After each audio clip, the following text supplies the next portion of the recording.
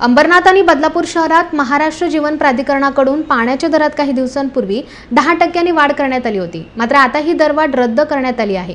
पावसाळी अधिवेशनात आमदार डॉक्टर बालाजी केणेकर यांनी मांडलेल्या लक्षवेधीची दखल घेऊन पाणीपुरवठा मंत्री गुलाबराव पाटील यांनी याबाबतची घोषणा केली आहे. आमदार केणेकर यांनी या दरवाढीला विरोध दर्शवला होता तसेच याबाबत ते शासन दरबारी सुद्धा पाठपुरावा करत होते. पावसाळी अधिवेशनात घोषणा झाल्यानंतर केणेकर यांच्या पाठपुराव्याला यश आलंय पाण्याची दरवाढ रद्द करण्यात आल्यानं अंबरनाथ आणि बदलापूर शहरातील ग्राहकांना आता दिलासा मिळणार आहे.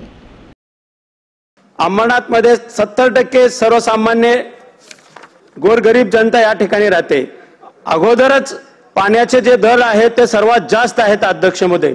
गेले दोन महिन्यापासून दहा टक्के ही वाढीव त्या ठिकाणी आकारणी करून बिल वसुली केली जाते अध्यक्षमध्ये.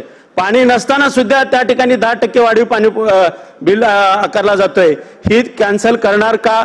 पुढच्या येणाऱ्या काळामध्ये बदलापूर असेल किंवा अंबरनाथ असेल यांच्या बाबतीमध्ये शासन दोघं योजना मंजूर करण्याकरता पाठपुरा करत आहे कार्यकारी अभियंत्याच्या बाबतीमध्ये जलव्यवस्थापन समिती मजिपा अंबरनाथ याच्याकरता रिक्त पदी जी आहे त्याच्या कार्यकारी अभियंताकरता आपण एक महिन्याच्या आत आता काही पद जी रिक्त होत आहेत किंवा प्रमोशन्स आहेत त्याच्यामध्ये एक महिन्याच्या आत नवीन कार्यकारी अभियंता देण्याचं या ठिकाणी मी खात्री देतो. त्याचप्रमाणे जी दहा टक्क्याची वाढ आहे ती दहा टक्क्याची काळ वाढ सध्या करता करता करण्यात येणार नाही अशा पद्धतीची घोषणा मी या ठिकाणी करतो.